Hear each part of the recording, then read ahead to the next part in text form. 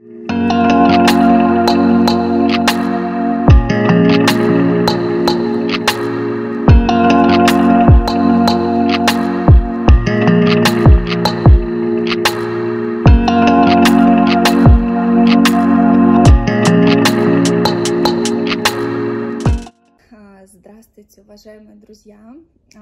Сегодня а, у нас в гостях, или будет, наверное, правильнее сказать, я в гостях а, в экономико-гуманитарном университете в самом центре Варшавы. И а, у меня в гостях все-таки на, на нашем канале, поэтому скажем так, это Виктория, она представитель Welcome офиса, и сегодня она нам расскажет о, об университете, а, о особенностях поступлениях в, особенностях поступления в этот вуз и многое другое.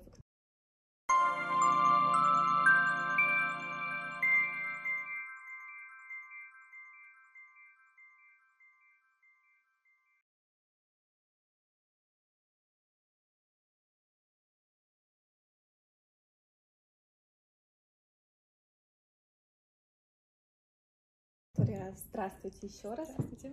А, Спасибо, что уделили время. Хочу, наверное, первым вопросом задать а, о вашем университете. Расскажите, пожалуйста, а, самые основные моменты и направления в этом вузе. Спасибо большое за вопрос. А, Ну, в первую очередь хотелось бы заметить как раз, что наш университет расположен в самом сердце Польши. А, Как ранее говорилось, э, почти в центре Варшавы. А, Очень удобное расположение, очень легко доехать, очень удобно как от центрального ЖД вокзала, так и от автовокзала и от аэропорта имени Фредерика Шопена. Насчет кампуса могу сказать, что это такой современный кампус, который был построен буквально пару лет назад. Современное здание, высококачественное пространство для обучения, где наши будущие студенты могут увидеть э, современные аудитории, лекционные залы, зал суда, лаборатории, э, современный специально подготовленный спортивный зал, большую библиотеку и даже пространство для обучения. Э, Что касается специализаций, в нашем университете мы предлагаем более 30 разных специализаций на 8 разных факультетах, как на степень бакалавра, так и на степень магистра. Более того, мы предлагаем э, обучение последипломное, э, также программы MBA и EMBA. А, В нашем университете чаще всего студенты выбирают специализацию управления, управление бизнесом, управление человеческими ресурсами. Очень часто также выбирают политологию, факультет политология и уже специализация это международные отношения, а также пиар и работа с общественностью, что в данном как бы обществе очень популярно и необходимо для большинства из нас для работы в будущем. А, Что касается а, наших также направлений, очень важно помнить о том, что у нас есть обучение на польском и на английском языке. А, Также хочу напомнить, что обучение в Польше э, длится три года на степень бакалавра и два года на степень магистра, что очень важно для студентов, которые э, закончили университет и хотят пойти дальше на магистратуру, Мгм. они могут абсолютно спокойно поменять свою специализацию, выбрать абсолютно другой факультет и поступить дальше. Э, Допустим, Мгм. выбрать, э, закончить международные отношения и Мгм. поступить на управление человеческими ресурсами, которая будет хорошая коллаборация и довольно-таки большой успех в будущем, ну и необходимость для работы в каких-то холдинговых компаниях, международных компаниях. А, Что касается также языков, возможно, было бы интересно Да, конечно, вот это очень, очень важный момент. А В первую очередь а, вы рассказываете о том, что студенты а, имеют возможность да, там, поступления на бакалавра, на магистратуру, на MBA. А Скажите, пожалуйста, критерии, да, каким критериям должен соответствовать а, а, студент для того, чтобы а, быть зачисленным в ваш вуз?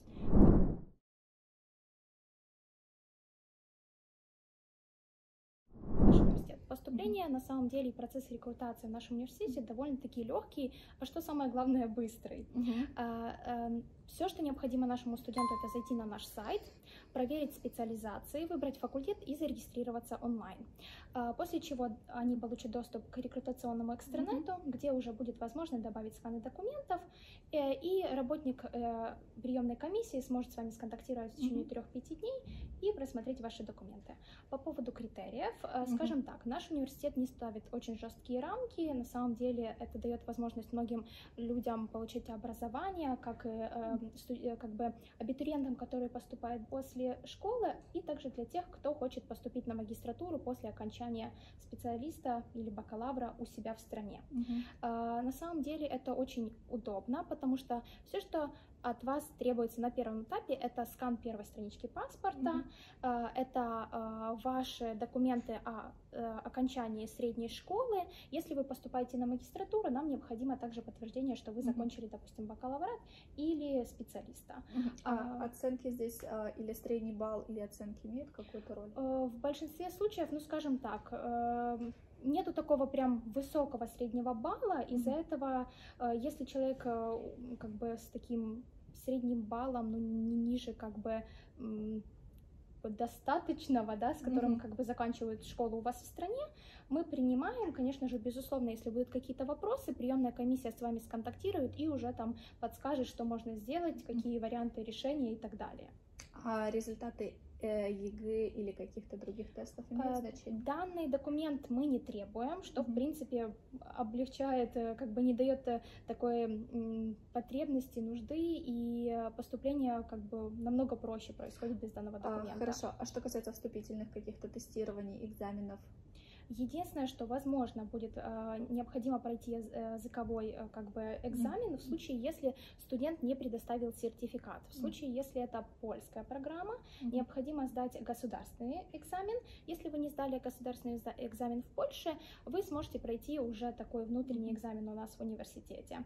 Э, что касается английской программы, э, мы принимаем э, сертификаты TOEFL, IELTS, TOEIC э, на уровень B2. Mm-hmm. Э, если у вас нет данного сертификата сертификата, также вы сможете пройти экзамен у нас в университете по приезду и уже как бы дальше продолжать свое обучение. А, хорошо, скажите, пожалуйста, вы упомянули по приезду, да, а то есть ну, получается, что кандидата а, без сертификата могут зачислить, а он, а, ну, приезжает и уже сдает тест. Если он, например, не сдает этот тест, как э, развиваются события? Смотрите, сначала уже так немножечко вам процесс рекрутации еще расскажу. Момент того, что мы общаемся со студентами, стараемся, если мы видим, что студент не может справиться на каком-то языке, мы уже стараемся, как приемная комиссия, задать вопрос.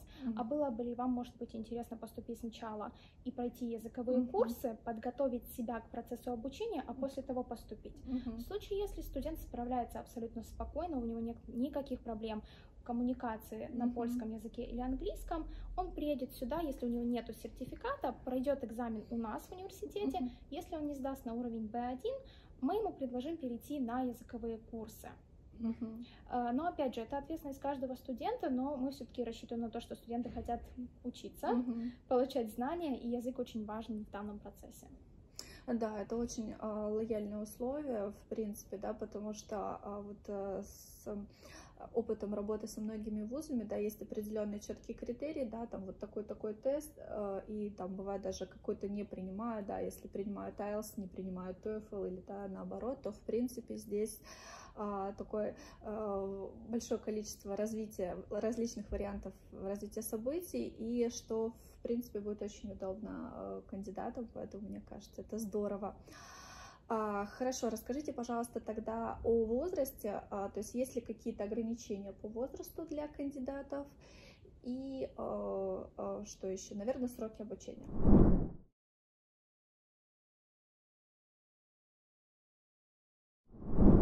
А, смотрите, в среднем в наш э, вуз э, э, поступают студенты как бы после обучения в школе, но это возрастная категория, безусловно, там 17-18 лет.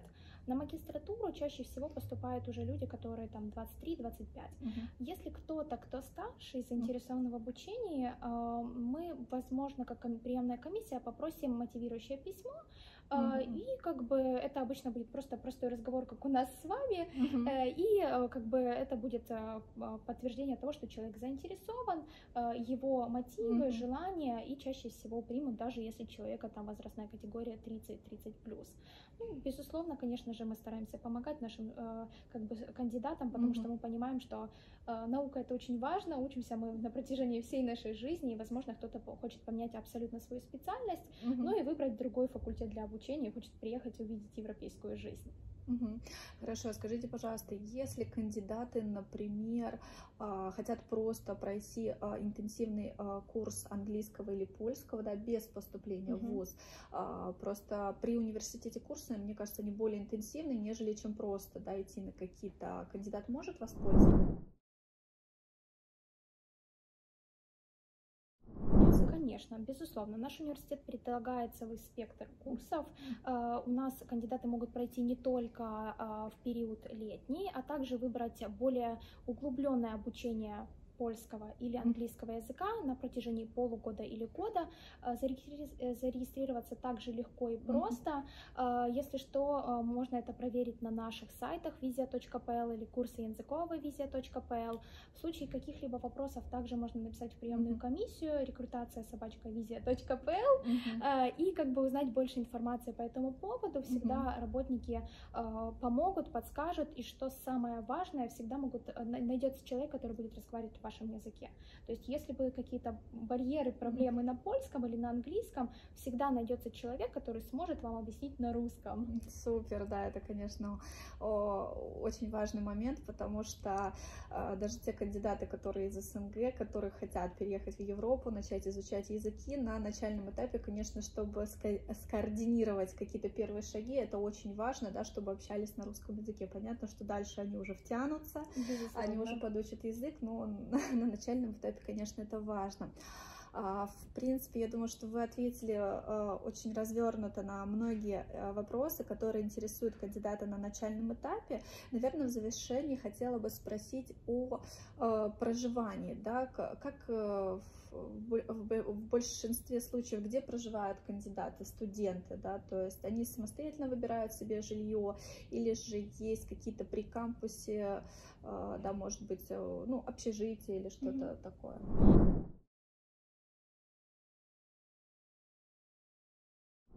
Смотрите, безусловно, как бы вопрос жилья является ключевым для каждого поступающего, мы это понимаем, к этому был готов наш университет. Плюс ко всему, ну, мы уже как бы 20 лет работаем со студентами, прекрасно понимаем, что это очень важно. У нас есть специальный департамент, который занимается поселением, который называется сокращенно АСМ, который предоставляет жилье недалеко от кампуса. Чаще всего это 20-30 минут езды от университета, что в принципе очень удобно. То есть если пары рано утром, можете абсолютно спокойно и быстро добраться. А, для того, чтобы зарегистрироваться, необходимо просто написать электронное письмо на mm-hmm. э, как бы электронную почту smsobachkaviza.pl, и там наш работник уже вам подскажет актуальные цены, э, возможности, э, общие условия, услуги и более необходимую информацию для вас, ну и, соответственно, ответит на все ваши вопросы. Э, что могу сказать, что очень важно, э, можно будет выбрать опцию как, как человек, который живет один в комнате, mm-hmm. два человека и три человека, что, в принципе, удобно, каждый выбирает свою опцию. А, хорошо, а скажите, пожалуйста, цены, они а, для студентов ниже, скажем, рыночного вообще по Варшаве, если человек э, просто будет самостоятельно там через какое-то агентство искать себе жилье, или цены, ну, не имеют значения, они одинаковые?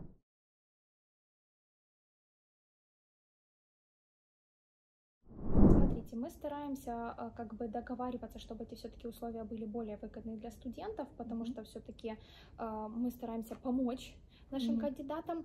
Это очень часто, конечно же, зависит от владельца как бы э, квартиры или mm-hmm. здания, в котором мы арендуем жилье, но, э, безусловно, вы сможете проверить цены и уже решить для себя, что для вас более выгодно, какие условия, чего бы вы хотели. Угу. Да, хорошо, спасибо большое, потому что, в принципе, это очень важный момент, да, проживания, потому что когда человек едет в другую страну, первый вопрос это, где я буду проживать. Да, конечно, где я останусь и что мне делать после того, как я приехал. Угу. Да, я с вами соглашусь, потому что на самом деле, работая со студентами, угу. это э, такой процесс, когда вы понимаете, что начинается все с рекрутации просто онлайн, потом необходимо найти жилье, а потом нужно как-то справиться в университете. Но, скажем так, хотела бы по своей стороне как работник сказать, что нашему университету очень важно вот этот процесс, чтобы uh-huh. студенту помогать не только на периоде, когда он кандидат, uh-huh. а и когда он уже студент. То есть по окончании рекрутации каждый студент уже по, после подписания договора, э, и когда он уже привезет оригиналы документов в здание университета, лично подпишет все документы, тогда он уже будет носить почетное здание звание студента mm-hmm. э, и сможет обращаться уже в деканат. А, более того, студент получит доступ э, к студенческим системам, где сможет проверить свое расписание, увидеть важные объявления, и уже на этом этапе э, смогут вам помочь другие работники. Вы также можете обратиться в отдел welcome офиса, где mm. будут помогать студентам-первокурсникам. Этот департамент чаще всего помогает студентам, которые обучаются на первом mm-hmm. году обучения, но если у них дальше вопросы, они всегда могут прийти, мы всегда рады помочь. Тем более там большая команда волонтеров, практикантов, которые вместе с работниками э, готовят ориентационные дни, разнообразные, разнообразные встречи, которые чаще всего помогают нашим студентам вжиться в студенческую жизнь. Спасибо. Э, назрел завершающий вопрос. Скажите, пожалуйста, какие студенты из каких стран в основном учатся в вашем университете?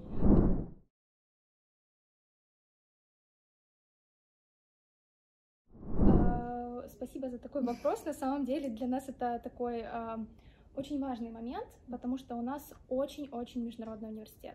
А, в нашем университете учатся студенты более чем 58 стран мира, что в принципе позволяет нашим студентам не только получать специализацию, а также изучать э, разные культуры других mm-hmm. народов, менталитет и, что немаловажно, изучать языки с носителями угу. что в принципе на самом деле очень интересно. Мы проводим разные языковые э, клубы, допустим, English Speaking Club, когда носители языка приходят и с вами общаются, и вы сможете подтянуть свой коммуникационный уровень и научиться как бы разговаривать на таком спокойствии и уже не переживать, что здорово, с кем-то не сможете здорово, договориться. Конечно, это очень здорово. А, большое спасибо, Виктория, что подробно очень рассказали о вашем университете. Я, конечно, уже вышла из студенческого возраста, но тем не менее у меня вот есть такое прям желание поступить в этот вуз, да. А, я вижу все эти залы, да, то есть и мне прям хочется здесь посидеть, послушать лекции, да, это очень интересно. И мне кажется, вообще после 30, если есть желание, почему бы Конечно, мы приглашаем всех в, в любом возрасте, тем более, как говорилось ранее, после дипломное образование MBA и EMBA открыто mm-hmm. для всех. А, что на самом деле очень важно, мы об этом не сказали в начале. Uh, у нас поступление на польскую программу начинается в октябре месяце, mm-hmm. а что касательно англоязычной программы, вы можете поступать два раза в году, mm-hmm. что в принципе очень сильно удобно и выгодно для наших студентов, которые, допустим, uh, решили поступать не в октябре, а подтянуть свой уровень английского или польского языка, mm-hmm. пройти полугодичные курсы и поступить в марте месяце. То есть их семестр, их обучение начнется в марте месяце. Угу. Замечательно. А, ну что, друзья, а, на этом мы завершаем наше видео. А, будем очень рады, если вы будете писать ваши комментарии, обязательно на них ответим. Подробную информацию также можно будет уточнить по номеру телефона, который будет указан в инфобоксе. Мы с вами прощаемся. Еще раз спасибо. Спасибо вам огромное. Всем пока.